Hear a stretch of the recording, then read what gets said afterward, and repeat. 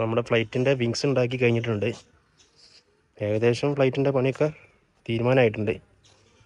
ഇനി sticker work കാര്യങ്ങളൊക്കെ മാത്രമേ ഉണ്ടാവുള്ളൂ. അപ്പോൾ നമുക്ക് വിങ്സ് എങ്ങനെ ഉണ്ടാക്കുന്നതെന്ന് നമുക്ക് നോക്കാം.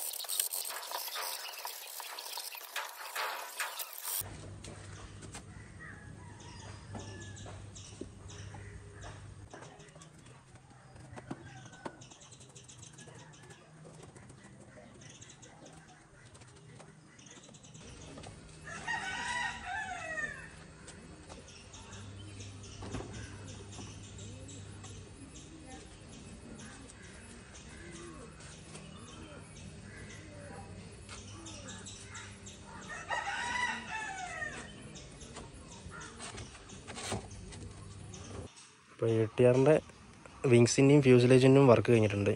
ഇനി ഇതിന്റെ കുറച്ച് സ്റ്റിക്കർ വർക്ക് ഉണ്ട്. ഇത് സംഭവം നമുക്ക് ചെയ്തതല്ല ഇത് വേറെ ടീമിനായിട്ട് ചെയ്തതാണ്. അപ്പോൾ അവർക്ക് ഇതുമല്ല ഇലക്ട്രോണിക്സും കാര്യങ്ങളൊന്നും വേണ്ട. അപ്പോൾ ഇലക്ട്രോണിക്സിന്റെ ഇ എസ് സി വെക്കുന്നതും വയറിങ്ങും കാര്യങ്ങളും ഒന്നും ഇതിന് വെച്ചിട്ടില്ല. ജസ്റ്റ് ഇങ്ങനെ മോട്ടർ ഇങ്ങനെ കറങ്ങണം. അത്രേ ഉള്ളൂ. അപ്പോൾ നമ്മൾ കുറച്ച് സ്റ്റിക്കർ വർക്ക് കാര്യങ്ങളൊക്കെ ഉണ്ടാവും. ഇതിന് അടിക്കാനുള്ള സ്റ്റിക്കറാണിത് എ ടി ആർ എന്നുള്ള പേരിലാണ് അവർക്ക് വേണ്ടിയത്. നമ്മൾ ഓൾറെഡി സ്റ്റിക്കർ കടിയിൽ നിന്ന് ചെയ്യിക്കുന്നതാണിത്. ഇതിന് വിൻഡോ അതാണ്. മുന്നിലുള്ള കാര്യങ്ങളൊക്കെ